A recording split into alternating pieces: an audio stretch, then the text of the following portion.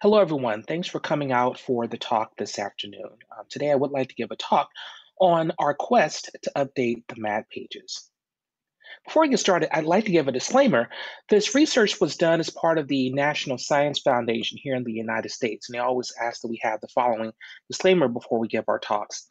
Any opinions, findings, and conclusions or recommendations expressed in this material are those of the author and do not necessarily reflect the views of the National Science Foundation. Now, I'm guessing that most of you here in the audience are mathematicians, and we as mathematicians love to find patterns in numbers. So I'm going to show you a few numbers here on the screen, and I'd like to see if you can guess what the pattern is. Let's start here with 223. Let's see, we have 313. We have 525. So I'm looking at things, you might think, well, they're prime numbers, but that can't quite be right because you have the 25 here at the end. Turns out here, the pattern is these are all dates. These are actually the dates that various African Americans here in the United States perished this year. In particular, February 23rd was the date that Ahmaud Arbery died when he was fatally shot while jogging in Georgia. March 13th is the date that Breonna Taylor died after she was fatally shot by the police while she was sleeping. And March 25th is the day that George Floyd died after he died when the police knelt on his neck in Wisconsin. Now, I wanted to mention all of this to start by saying this talk is about Black mathematicians. And unfortunately, we as Black mathematicians have a duality. On the one hand, we are mathematicians, we love numbers. But on the other hand, we do have to deal with issues outside of just doing mathematics. And some of those issues are just trying to survive on a daily basis. Others, of course, are trying to make a living through our work. And one of the first real instances where many of us have seen this is through Katherine Johnson. There was a wonderful book put out a few years ago by Margot Lee Shetterly called Hidden Figures, which of course was turned into a movie. And in this, there was a discussion of a woman named Katherine Johnson who worked as a human computer for, at the time, what was the precursor to NASA. Now, in 1962, she helped to work out the mathematics that put John Glenn in orbit around the Earth.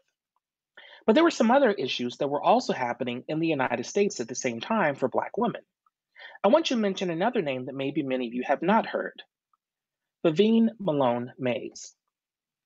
Vivienne actually got her PhD from the University of Texas at Austin in 1966. So, about the same time that Katherine Johnson was at the precursor to NASA doing her work, Vivienne was actually trying to get her PhD in mathematics, but it really was not an easy road for her. You see, just a few years before, in 1961, she had applied to the PhD program at Baylor University, also in Texas, but unfortunately, her application was denied. You see, at the time, they were not admitting African Americans into their school. Now, in this presentation today, I want to say a few more stories like this about various Black mathematicians. Then I eventually would like to get into some of the work that a few of us have done in trying to archive these stories and make them available for others around the world to learn. At the end, I then want to talk about other organizations and other individuals that are also working to help document the history of Black mathematicians. And then I'd like to come back and wrap up all of this by saying a bit, word, bit more about Vivienne Malone Mayes. I myself was featured in the New York Times about a year ago, actually, for a couple of reasons. One, I spoke quite a bit about being one of the only African Americans in mathematics, and that could be one of the only that's a faculty member, but also as I was going up through my education, being one of the only in my classes also talked about how I left being at a Research One university for over a decade and decided that I would go to a smaller liberal arts college just outside of Los Angeles, California, where I could work more on trying to convince undergraduates that mathematics is a great career to be in. So here's a photo of my first year at Pomona College, where I decided to invite freshmen who expressed an interest in majoring in the mathematical sciences to come to dinner so we could fellowship and get to know each other. I thought at first only about eight students would show up, but it turned out that about 25 actually came to that dinner. My hope is that the in- individuals that you see here in this photo will eventually major in mathematics. I could say that at least a few of them are still taking math classes and still majoring in the subject, and that eventually they'll go on to get their PhDs in mathematics. In fact, I want to spend a little bit even going over this question. How many African Americans do earn their PhDs in mathematics?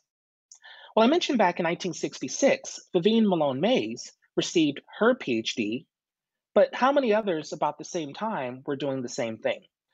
The National Science Foundation has a list of data where they keep track of the number of PhDs that people have received. In fact, in 1968, there were roughly 23,000 doctorates that were awarded all over the United States in all disciplines. And roughly 1,000 of those went to those in mathematics and computer science. Of those 1,000, just under 10 went to African Americans in mathematics. By comparison, Vivienne Malone Mayes received her PhD in mathematics in 1966, and she was only the fifth African American woman to ever do so. Now let's fast forward to current times. In 2016, the NSF says that there were roughly 4,000 doctorates granted in the United States in mathematics and computer science, but just under 100 went to African Americans mathematicians. Now, let me try to put some of this in perspective for those of you that aren't here in the United States. Yes, you could argue that the numbers have gotten better and that over the past 50 years, we've doubled the number of Blacks getting their doctorates in mathematics, roughly from 2%, from 1% to 2%. However, 12% is the number of Blacks living in the United States. This means that we have a long ways to go. We need to have more African Americans getting their PhDs in mathematics. Now, I've just mentioned the numbers, but I want to say a little bit more about who are some of these African Americans who earned their PhDs in mathematics. Vivienne Malone Mayes is just one, but who are some of the first? Well, here are some of the first African Americans that have earned their degrees. Elbert Frank Cox is the first, and he received his PhD from Cornell University in 1925. He eventually would go on to become the department chair in mathematics at Howard University, a historically black college in Washington, D.C. The second is Dudley Woodard. He actually got his PhD when he was about 50 years old. You see, he actually was on the faculty at Howard University, but then decided he really needed to go get his PhD if he wanted to continue to inspire more students to go on in mathematics. He got his PhD from the University of Pennsylvania in 1928 and then came back to continue teaching at Howard, where he established the Masters of Science in Math program the following year. One of the first students to graduate from this brand new master's program was William Claytor. In fact, Woodard inspired William Claytor to go on from the master's to get his PhD, and he did so in exactly the same department and exactly the same research area as Woodard did. He did so in 1933. Claytor is considered to be the first African American to publish research in mathematics. And the fourth that I'll mention here is Walter Talbot. He received his PhD from the University of Pittsburgh in 1935. He would come back to become department chair at Morgan State University in Baltimore for almost 25 years. But those are the first three, first four men. I'd like to mention the first three women to receive their PhDs in mathematics.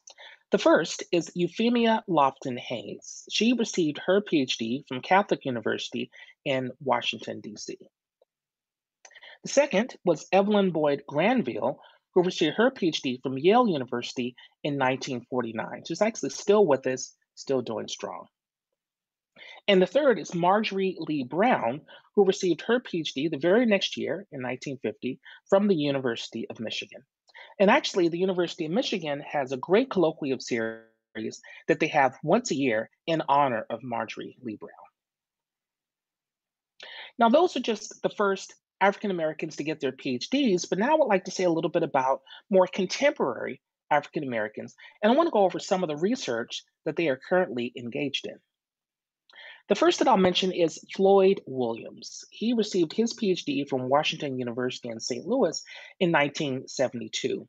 He actually works on problems in mathematical physics, such as special relativity, black holes, and even quantum mechanics. And he does so using representation theory and Lie algebras. He's one of the handful of African Americans who's currently a fellow of the American Mathematical Society, the largest professional society in mathematics here in the country. Then there's Kate Okikiolu. She's a Nigerian mathematician, and she received her PhD from UCLA in 1991. Many of you here in the audience may have heard of her father, George Okikiolu, another Nigerian mathematician. Kate actually works on a generalization of the concept of can you hear the shape of a drum by studying eigenfrequencies of a Laplacian so she can study the sounds a drum makes in three dimensions. She would be the first Black to be awarded the prestigious Sloan Research, Research Fellowship, and she did so in 1997. The next I'll mention is Arlie Petters. He received his PhD also in 1991, but from MIT. Um, he is from Belize, and he actually was ordered, or he was issued an Order of the British Empire. So he's actually Arlie Petters, OBE. He works in gravitational lensing. He actually was the first recipient of the Blackwell Tapia Prize and is currently provost at NYU Abu Dhabi. The next I'll mention is Trachette Jackson. She received her PhD from the University of Washington in 1998, and she studies mathematical biology. In particular, she looks at the mathematics of angiogenesis. This is what happens when blood vessels are formed in the body to help cancerous cells grow. She was selected as a fellow for the Association for Women in Mathematics in its inaugural class back in 2017. Then there's Jonathan Mboyo Esole. He is from the Congo, and he received his PhD from the Lorentz Institute at Leiden University of Netherlands back in 2006. He studies string theory by considering families of elliptic curves. And to be more precise, he actually looks at resolutions of singularities of specific elliptic surfaces.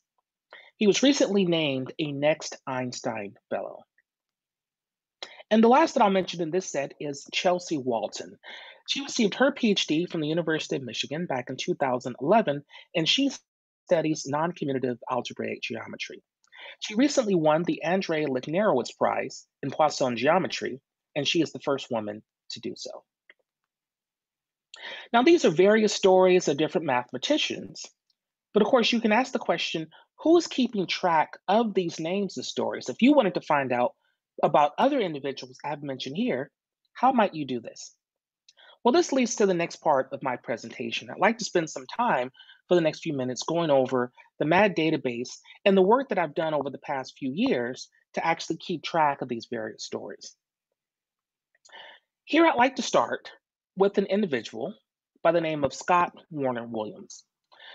Scott, back about 20 years ago, worked on a website that he called MAD, the mathematicians of the African diaspora. This site here has over 1,000 pages consisting of various stories and biographies of Africans and African Americans in either mathematics, computer science, physics, or astronomy. He started the site in 1997 and really just worked on it purely out of a labor of love. Unfortunately, Scott retired back in 2008, which really means that this site has not been maintained in over 10 years.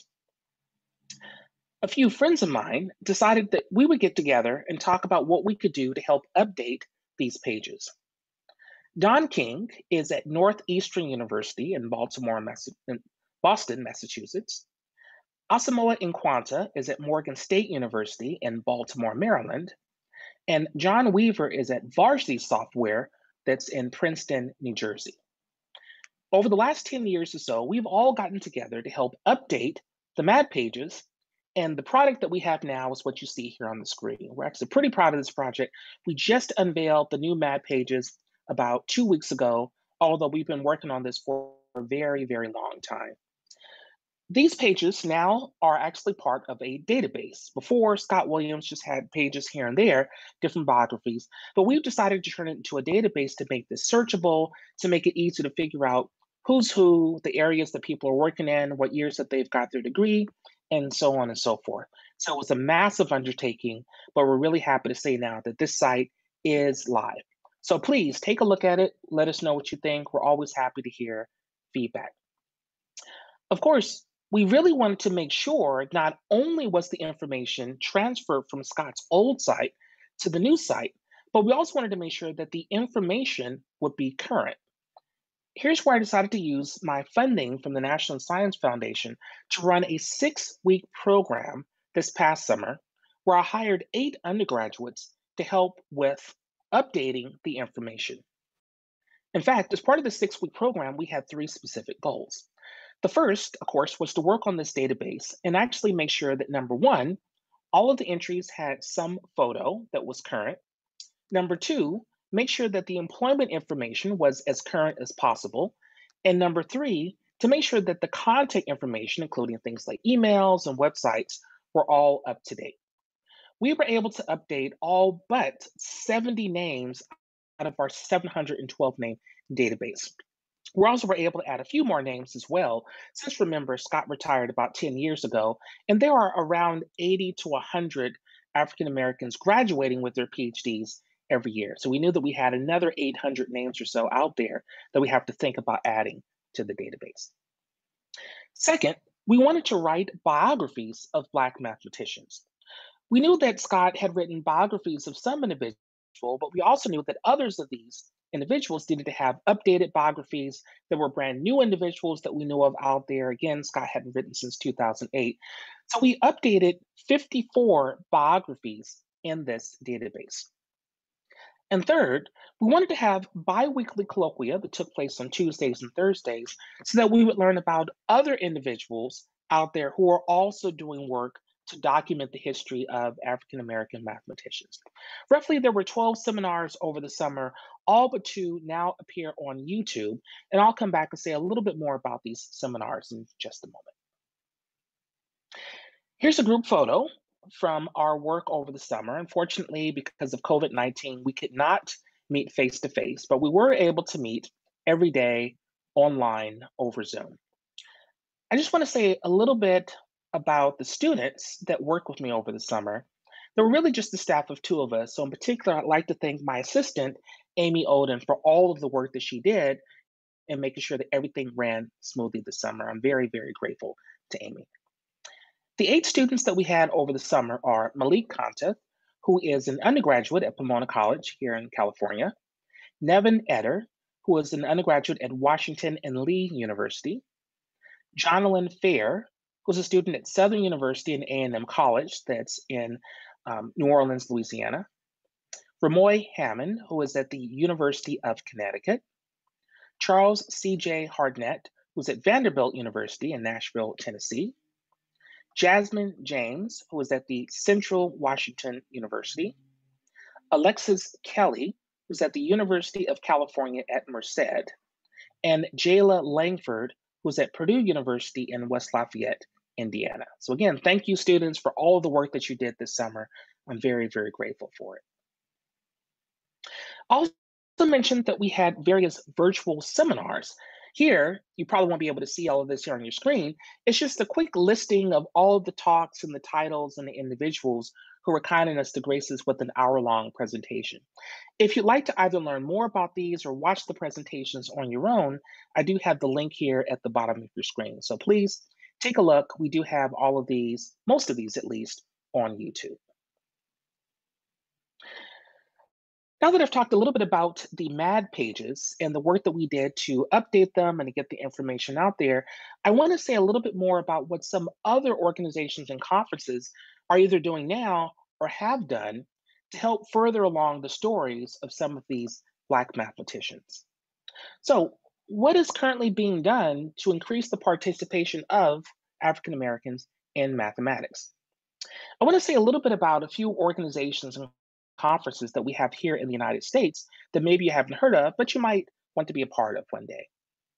The first is the Conference for African American Researchers in the Mathematical Sciences, also known as CAARMS. This conference started in 1994 with Raymond Johnson, Bill Massey, and, and James Turner. The idea is that it happens every summer, and Black mathematicians all get together to talk about their research for about a three, four day conference. The next is the EDGE program. This stands for Enhancing Diversity in Graduate Education. This was started in 1998 with Sylvia Bozeman and Rhonda Hughes. And what they wanted to do was run a four week program for women who had just finished their undergraduate degrees and we're starting a PhD program in mathematics that coming fall. This program here offers classes over those four weeks, but it also offers mentoring. It offers to be part of a larger network of women that have been involved with this for 20 years or so. And it's been a hugely successful program for women of color. The next is the Infinite Possibilities Conference, or IPC. This was started in 2005 with Leona Harris, Tanya Moore, and Nagambal Shah. Actually, three women who were involved with Spelman College, a historically black college in Atlanta. This conference takes place every two years and really is meant for women of color to fellowship and also to inspire each other to continue along in the mathematical sciences. This conference involves a wide range of individuals. Some are faculty, some are graduate students, some are even in high school, but it's a very influential conference and inspiring women to continue in the field.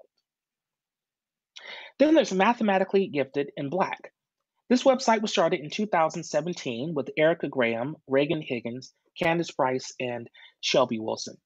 The site actually features a brand new mathematician every day of our Black History Month. I know that in the UK, Black History Month is in October, but in the United States, Black History Month is in February. So for each of the 28 days every year, there's a brand new Black mathematician that is profiled. If you'd like to take a look at some that they profiled in the past, I definitely recommend that you take here at the take a look at the website. But certainly a lot of us look forward to this every year to see the brand new profiles that they have listed. And the newest site that I'd like to mention here is CMMS. This stands for the Center for Minorities in the Mathematical Sciences. This was just started this year, actually, it was just launched a few weeks ago by Michael Young, who's at Iowa State University. Michael likes to think of this as a clearinghouse for all information for those minorities interested in the mathematical sciences. There's a listing of the various organizations and links so that you can look them up. There's a calendar in case you'd like to know of the different conferences that are happening all throughout the country. And there's also a database for individuals that like to sign up to either be a mentor or just to learn a little bit more about what's happening. We, the MAD Pages, are working with CMMS to make sure that our databases are working with each other. I want to mention one last thing here along these lines in terms of organizations and events. There's going to be a series of tweets coming out from November 8th through 14th. Uh, there's a group of individuals here in the US. They're putting together what they're calling Black in Math Week. Here you can sign up to follow the Twitter account, but what they're going to do is every day between November 8th and 14th, they will tweet out a series of individuals who are Black and in mathematics. So if you'd like to learn more, I definitely say go ahead, take a look here at this Twitter account, but certainly we're asking you to follow along from November 8th through 14th. Now, I mentioned earlier about Vivienne Malone Mayes, how she got her PhD in 1966. I want to say a little bit more about what was happening during that time frame and how there's another organization that was also very much focused on furthering along these stories of Blacks in mathematics. Well, in 1969, there was the Joint Mathematics Meetings. This is a big meeting that takes place every year here in the United States. And in fact, in fact is considered to be the largest meeting of mathematicians um, here in the United States. In January of that year, there were 17 individuals who met in New Orleans so that they could discuss issues dealing with inclusion in the mathematical community.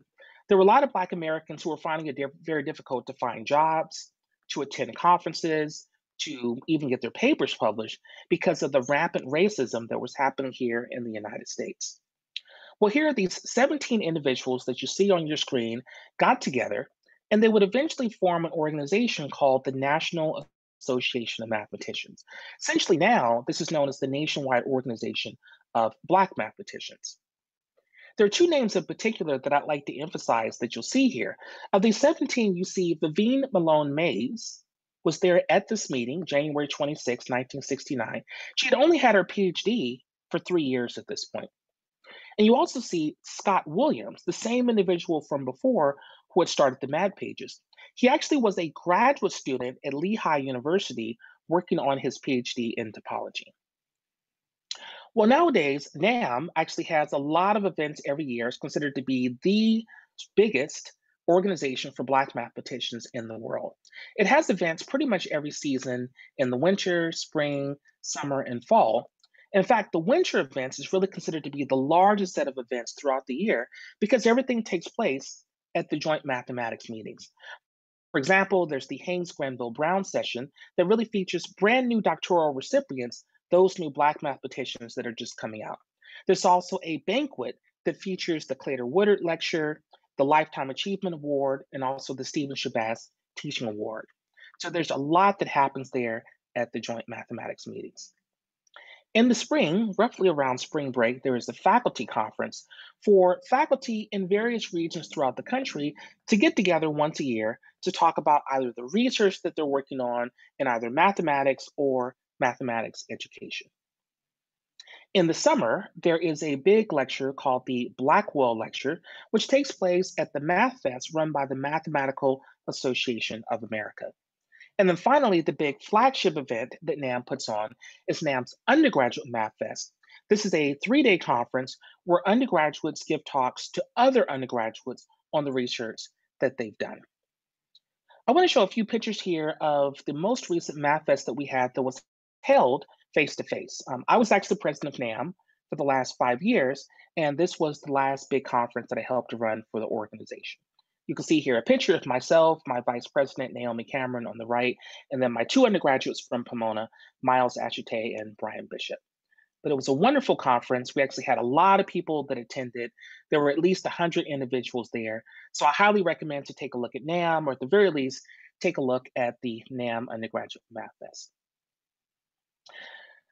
Now, I want to end by going back to Vivienne Malone Mayes. I tried to say a little bit about how some of us are keeping track of these stories, a little bit about what's also happening now to, to motivate other Black mathematicians to continue in the field. But I want to go back to Vivienne Malone Mayes herself and about her personal story. As I mentioned, she was a professor at Baylor University, but I also mentioned that she wanted to attend Baylor to get her PhD, but she was denied admission because of her race. So it's a very tricky story here and what's happened over her career. So let me just try to give some outlines of who she was and what she did. She was born on February 10th, 1932, in Waco, Texas. This is right around Dallas, Texas, in the middle of the state. She entered Fisk University at the age of 16, and Fisk is a historically Black college that is in Nashville, Tennessee. She earned a bachelor's degree in 1952 and then decided to stay on for a couple of more years to get her master's degree. You see, she had a couple of mentors who were mathematicians who really encouraged her to go into mathematics. In fact, Malone Mayes actually switched from medicine to math because of these two mo- mentors, Evelyn Boyd Granville and Lee Lorch. You may remember the name Evelyn Boyd Granville. She is the second African American woman to get her PhD in mathematics. That means that there was a lot of influence from Evelyn Boyd Granville to really convince Vivienne Malone Mayes to stay on to get her PhD. And this is exactly what Malone Mayes did. She actually decided to work as department chair at a couple of other historically Black colleges in Texas, but at that time, she still applied for admission to Baylor University. And as I mentioned earlier, she was not admitted because at the time, in 1961, Baylor was not admitting Black students into their school at all. So instead, she applied to work at the University of Texas at Austin. She would eventually get her PhD in 1966 with a dissertation entitled A Structure Problem in Asymptotic Analysis. She was only the fifth African American woman to get a PhD in mathematics. I'm going to come back and say more about the story in just a moment. Following graduation, she was hired as a full time professor of mathematics at Baylor University. So here's the fascinating story. She wanted to get a PhD from Baylor. She was denied admission because she was Black. But then here it is, five years later, she comes back with her PhD and she's actually hired on as the first Black professor that Baylor had ever had. Now, she had a great career, a wonderful career there at Baylor. Unfortunately, she died relatively young. She died at the age of 63 in June 9th, 1995. But as I mentioned, Baylor knew that it had this fascinating story. And on the one hand, I was very proud that she was at Baylor, but on the other hand, I was very embarrassed at how it had treated her just five years before. Well, in just February of last year, there was a big celebration that was given by the mathematics department where they unveiled a bust to honor Vivienne Malone Mayes there in the mathematics department. At the upper left, you'll see a picture of the department chair giving the talk. Here on the lower right, you actually see a picture of her daughter who's accepting the bust. I was also invited as president of NAM to give a quick speech here at the press conference. And here we have at the very bottom left a picture of myself and my friends standing next to Vivienne Malone Mayes's bust in the mathematics department. What I'd like to do is read a short excerpt of the speech that I gave there at the press conference. My mathematical isolation is complete. This is a phrase uttered by Dr. Vivienne Malone Mayes after her lonely experience attempting to get a doctorate in mathematics. And in many ways, I can relate with Dr. Malone's experience. At the age of 16, she went to Fisk University where she met Lee Lorch and Evelyn Boyd Granville. Dr. Granville was just the second African American woman to receive a PhD in math. You can imagine what that did to Dr. Malone's imagination. Dr. Malone decided to continue her education by going to the University of Texas at Austin. There, she met the infamous Robert Lee Moore. Perhaps he was a man of his era, but he was known for being especially nasty to Jews, to Blacks, and to women. Dr. Malone was the only woman in her class and the only African American. You see, she couldn't attend class. She wasn't allowed to teach as a teaching assistant. She couldn't even go to the local coffee shop to join in the study sessions. My mathematical isolation is complete. But Dr. Malone persisted. Dr. Malone had grit, class, and determination that we should all emulate. Dr. Malone, we thank you. I'd like to end here with a quote by an African American who started Black History Month here in the United States, Carter G. Woodson. It says, we have a wonderful history behind us, and it is going to inspire us to greater achievements. I do want to thank the following individuals before I go any further. The National Science Foundation, of course, for funding all of this, Pomona College for its wonderful support over the years, Corey Colbert at Washington Lee University, Hélène Barcelo at the Mathematical Sciences Research Institute, Albert Lewis and Harry Lucas from the Educational Advancement Foundation. Of course, I must thank Scott Williams, without whose work none of this would have been possible. And finally, Nira Chamberlain and the Institute for of Mathematics and its applications. So to you all there in the audience, thank you very much for listening.